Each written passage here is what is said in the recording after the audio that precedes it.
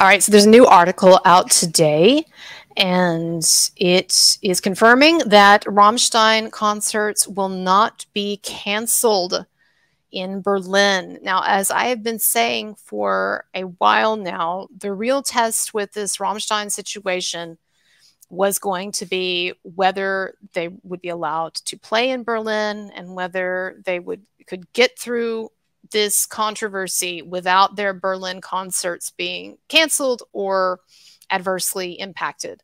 And it looks like they're going to get through it. And I'm very, very happy to see that. It is nice in today's cancel culture to to see these occasions where the mob doesn't get what it wants and the mainstream media they don't get what they want and these ridiculous accusers don't get what they want but oh man, a lot of complaining, some people very upset.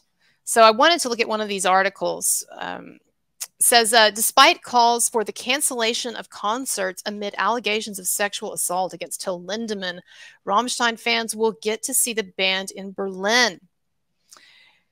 The article says the campaign No Stage for Rammstein has been calling for the cancellation of the three Rammstein concerts scheduled for mid July in Berlin following accusations of sexual assault against singer Till Lindemann. Now, on my channel, I have gone through these accusations ad nauseum. I have debunked them. I have interviewed people who were there. I've interviewed people who know the main accuser and so forth. So check out my channel if you want to know why these accusations are BS and why Rammstein should not be canceled. But um, it says the band will be playing at the Olympia Stadium in Berlin on July 15th, 16th, and 18th. This is weekend, right? Or is it next week?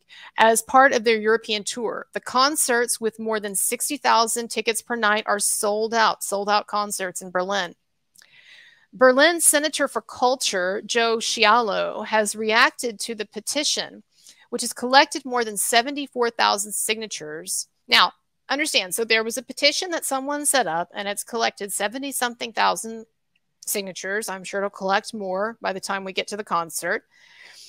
And this was a, a petition that someone set up to try to um, to try to lobby for the concerts to be canceled. Now, Till Lindemann's lawyers, the law firm Schertz Bergmann, they have been they have been so on top of things. I tell you, I am so impressed with how Lindemann's lawyers have conducted themselves. Uh, I don't know and how on top of things they have been because because they went after this petition. They've tried to have this petition legally sanctioned, and they have sent a cease and desist to the promoters of this petition, they're going after it because there's actual defamation in the petition itself. Yes, of course, people should have the right to petition for anything. All right, it's not a freedom of speech issue. The issue, the problem is that in this petition, there are multiple defamatory claims made about Till Lindemann and Rammstein. Okay, and so again, there's freedom of speech, but freedom of speech has its limits. And when you are defaming someone with lies, then it's a problem. So I'm really impressed with that. And I'm really impressed with the fact that Lindemann's lawyers went to court in Germany. And as I talked about in another video, were able to get a court ruling against Der Spiegel for the largest anti Rammstein, anti Lindemann article that has come out, the most important anti Rammstein, anti Lindemann article that has come out in the last several months since this scandal began. It was that Der Spiegel cover article, the one entitled The Fall of Rammstein. And it had a lot of claims in it, very problematic claims. And as it turns out, a number of false defamatory claims. And I've talked about this in a prior video, so you can check it out. I talked about a number of the things that were false in this in this um, story. So Rammstein's lawyers, Lindemann's lawyers, got a court ruling against Der Spiegel, and the court banned Der Spiegel from further reporting this story because of the lies that they had disseminated in their story. And, and so what happened was Rammstein's lawyers, Lindemann's lawyers went to court and they proved to this court, okay, they were able to prove that aspects, major aspects of this um, article were lies. And so a court actually shut them down. Now, here's the significance of it is that you don't see this kind of stuff happening in, in the cases in the US that I've been covering. And I don't know if that is an issue with the legal representation or if the problem is that because of our greater appreciation for free speech in our country, it's just much more difficult to do these types of legal maneuvers. And so I don't know what the deal is. I don't know if uh, if it's a, an issue with legal representation, and and that's why we've not seen Marilyn Manson, for instance, his attorneys as proactive in some of these ways, um, or if it's just a matter of it being just it's easier to go after the press in Germany, or maybe maybe it's the latter entirely. But the point is, I was very impressed to see that Lindemann's lawyers went after the Der Spiegel article and they went after this petition for containing very defamatory information, defamatory claims. So, anyway, the point is, though, you have um, a number of people, including some uh, German politicians, who really hope to bring Rammstein down and to shut them down, and they're not going to be able to do it. So, the Berlin Senator for Culture, he said, uh, he said the demand is emotional the demand for the cancellation of Rammstein concerts is emotionally understandable. First of all, I don't know what that means, emotionally understandable. We shouldn't care about emotions in cases like this. We should care about facts and we should care about the presumption of innocence. So it doesn't matter if something is emotionally understandable, okay? You're always going to have activists who are on a, an emotional trip about something or other. That doesn't mean that we cater to it. But he says the demand is emotionally understandable, but legally there is no leverage. You can almost hear the wah wah in the background, right? You just know that this guy and some of these others, they just they just hate the fact that they don't have any leverage to shut this these concerts down because you know they'd love to. He continues, he says, I'm always on the side of the victims, of course.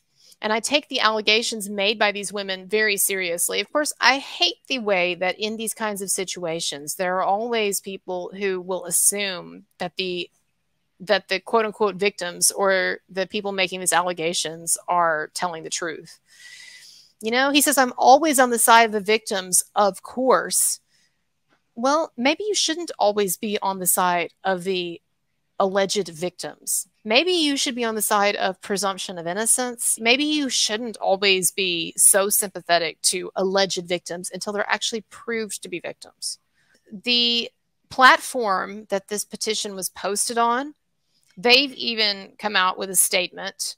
Um, the name of the platform is Campact. Anyway, they, they issued a statement and they said, We stand behind the initiator of the petition and support her demands. This is the what the managing director of the platform said. And again, again, this is part of the problem is that people, there's a certain segment of society that just assumes that when people make claims like this, when women make claims like this, that they're telling the truth. And so they this is part of the believe all women crowd, unfortunately. So, you know, they don't care. They don't care if they're posting defamatory content on their site because they don't believe it's possible for women to make defamatory statements apparently everything that women say everything that that, that people purporting to be victims say just automatically must be the truth it's ridiculous ridiculous assertion so anyway the article continues and it talks about how the concerts are going to take place without the row zero section, the row zero area, and without parties. So one of the things that I have pointed out before is that while while these accusers and while these protesters have not been able to cancel Rammstein and have not been able to cancel Rammstein concerts, they have been successful in getting row zero and the pre and after parties shut down. So there, there are no. I've been told there are no after parties going on. I mean, even for male fans, because like I said, there were a lot of men who were invited to the after party, uh, at the after parties at these concerts, but but no more. So the, there's no parties, no no meet and greets, no parties, no row zero, no nothing again. And you know, this is just one of the things that uh, that ends up happening in situations like this when you have situations where allegations are made, it inevitably results in a loss of greater freedom for larger groups of people. So you have these individual claimants, this tiny minority of people making claims, tiny minority. What do we have? We have Crazy Shelby. We have opportunist Kayla Shyx, who didn't even see anything, never even met Till Lindemann. And then we have what? Several of these anonymous women that uh, that the German media claimed to have interviewed who won't even go on the record and won't even put their names on the record. That's what we've got. We've got like this handful of people with their with their frankly batshit crazy lies and delusions, and uh, and that means that no part, nobody can have any parties, no parties for anyone, no pre-party, no after party, no row zero. So again, this is what, and this is why I have an issue with cancel culture and with this kind of cultural sexual panic and with this kind of new repression, this new Puritanism, is that in the name of safety, it ends up reducing freedom for the larger group of people. It ends up reducing exposure to to interesting experiences because now there's lots of people that were looking forward to going to these parties and people who are looking forward to participating in row zero and it's not going to happen and I've seen um, emails, messages, DMs from a number of people who are really bummed out about it because one of the things that one of the reasons why they got tickets to Rammstein concerts is because they also expected that they were going to be able to go to these parties. For some of these women, I've I've heard about some women who were buying like five hundred dollar designer dresses designer outfits to be able to uh, to go stand in row zero and to be on Instagram and everything. They were really looking forward to this, and they weren't afraid of Till Lindemann. And now they can't do it. So, anyway, but I'm so glad that Rammstein is going to be able to continue their tour. And I think that if they can get through the Berlin leg of the tour without incident. I do think it is uh, it's smooth sailing onward after that. And thank God. And it is so nice to see that one of these big attempts at cancellation has not been successful. It has been it has been resisted and it has been ineffectual. So good for that. Good for us. And kudos to all of you who have stood firm. And kudos to Rammstein for standing firm. All right, everybody. As always, uh, check out my playlist linked below for more on the Rammstein case. I've got a lot of interesting videos, interviews, all kinds of stuff. And check out my channel for other celebrity stories and cancel culture stories. And uh, as always, I, I appreciate your support, and my links are below. And as always, I appreciate your support, and my links are below. Bye, everybody.